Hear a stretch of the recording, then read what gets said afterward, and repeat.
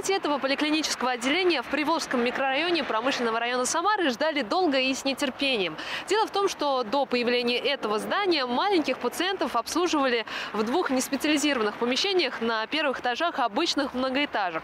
Проект нового здания долго не согласовывали, потом не могли его реализовать сама поликлиника детская, она э, в проекте э, строительства находилась, да, действительно, очень длительное время, со времен еще э, Лиманского. Долго она э, с подготовкой документации mm-hmm. для строительства этого здания, и не было денежных средств, не выделялись денежные средства на доведение проекта до конца и на само строительство. Современная поликлиника, рассчитанная на обслуживание до 18 тысяч человек, проработала всего 5 лет. Трещины в несущих стенах здания оказались веским аргументом, чтобы в один момент полностью прекратить прием. Рисковать пациентами здесь не стали. Уже на следующий день после обнаружения трещины врачи переселили во взрослую поликлинику на Тополей 12.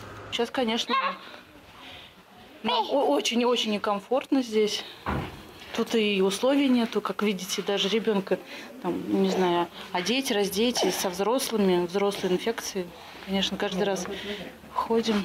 Для малышей здесь отвели целое крыло, плюс разместили профильных специалистов в отдельных кабинетах. Сейчас врачи максимально охватывают вызовы на дому. Насколько серьезна проблема с созданием на молодежной, пока не ясно. Сейчас идет экспертиза. В течение двух недель нам обещали дать заключение, возможно ли оказание медицинской помощи в том здании, или это здание представляет угрозу и нуждается в срочном ремонте. И уже по результатам вот этой экспертизы мы сможем что-либо сказать. Ситуация усложняется тем, что сейчас зима, ожидается эпидемия гриппа и повышение заболеваемости среди детей. В здании на Тополе уже разделены входы для температурящих пациентов и всех остальных, но это вряд ли убережет малышей от контакта с болеющими взрослыми.